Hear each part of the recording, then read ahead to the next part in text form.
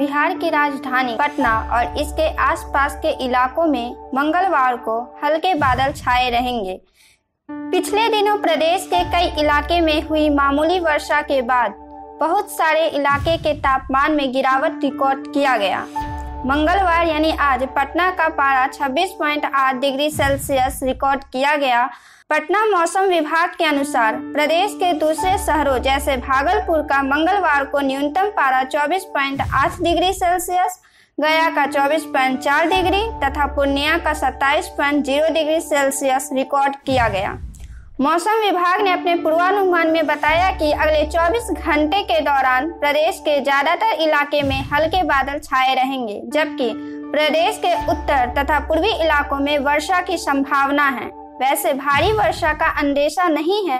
सोमवार को पटना का ज़्यादातर पारा 33.4 डिग्री सेल्सियस तथा न्यूनतम पारा 27.4 डिग्री सेल्सियस रिकॉर्ड किया गया था।